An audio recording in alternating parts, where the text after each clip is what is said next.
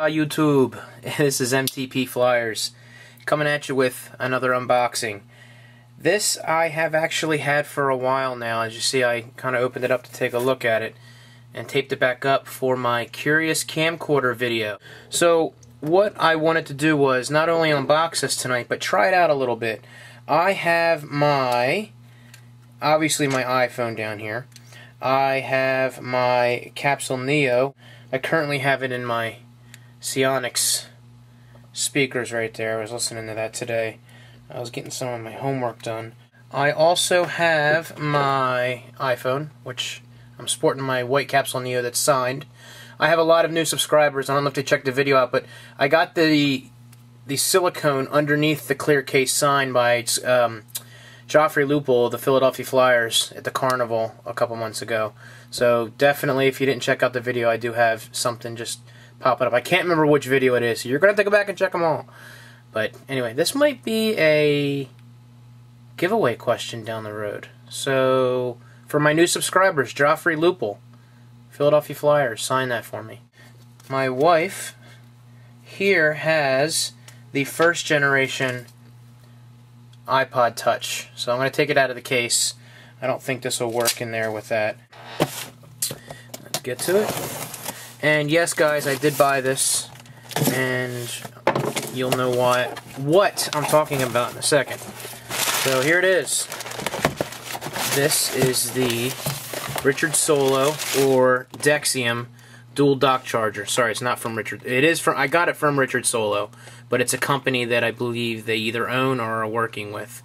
But it is compatible with your 4G, iPod 2G, and Classic 2G in there, and the iPod 3G or iPhone 3G and I get this and try it out. So without further ado, let's go ahead and open this up.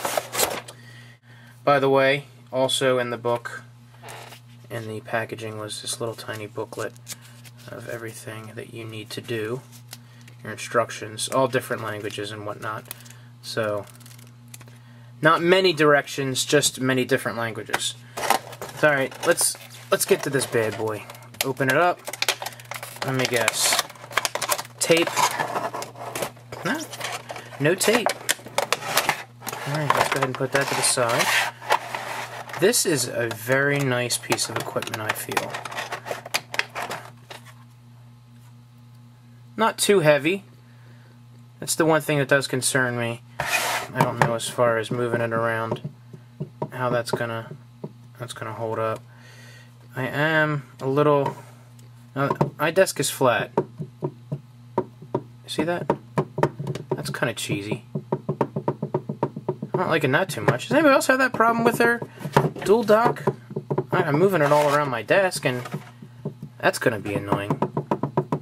Oh well. What are you going to do? It seems like this one might be a little bit lower. Oh well. That's not what we're here for now, guys, is it?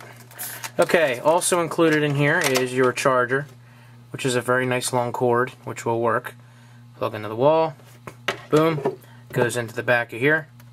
And as a matter of fact, I do have a nice little charger plug over here that we can actually try this.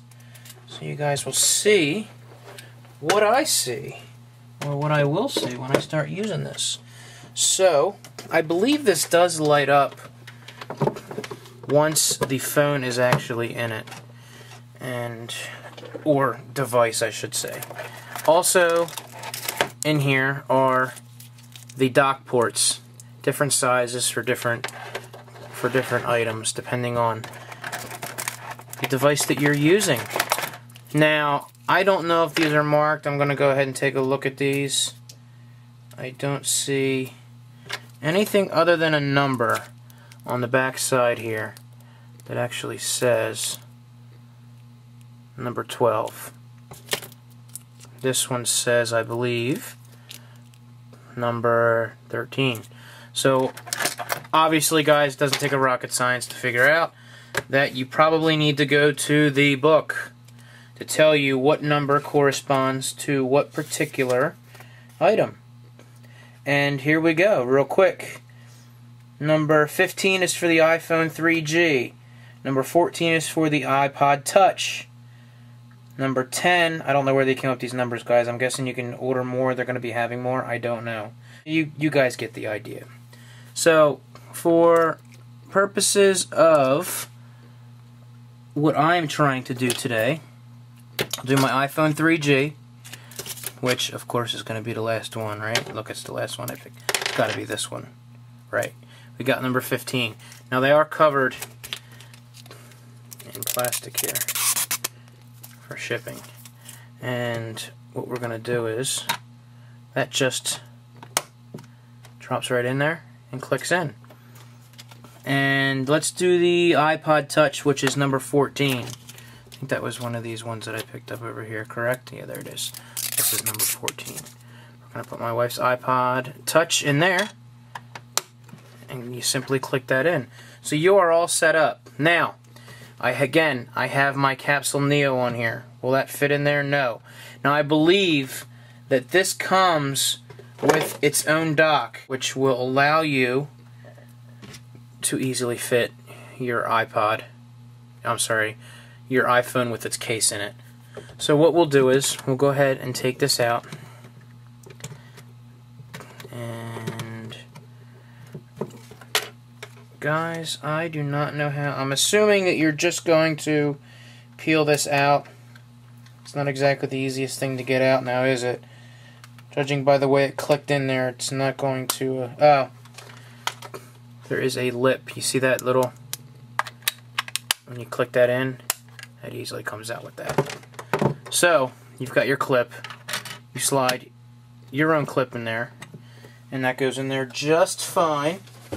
So, once you plug in your case, your phone, look at that. Now let's go ahead and, ah, you know what guys? I believe there is a switch on here. Yes, there's an on-off switch with lights included. I'll go ahead and turn this down so you can see that. That's actually pretty cool.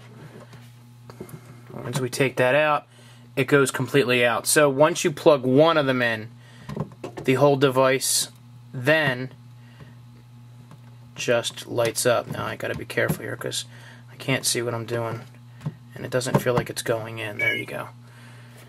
So I also have my wife's iPod Touch and that fits in the slot just fine. And there you go. That's pretty cool. Let's go ahead and turn the lights back on there. Very interesting. I am very impressed with this. This is very nice.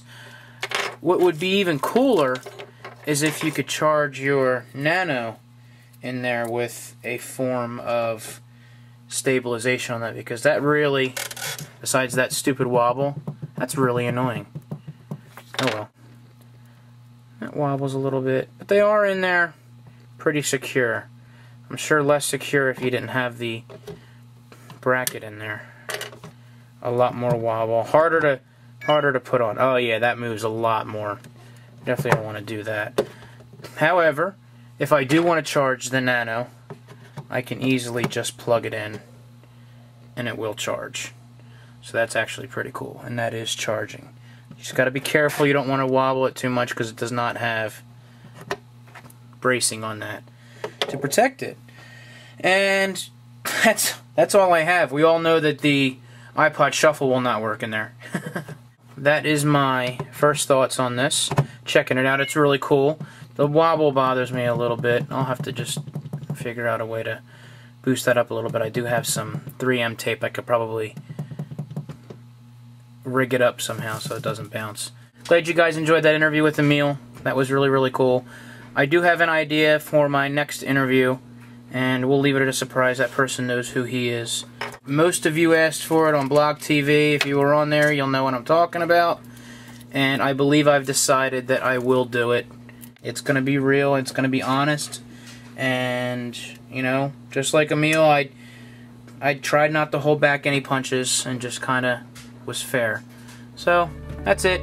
This is MTP Flyer saying you guys have a great night and I will talk to you later. See ya!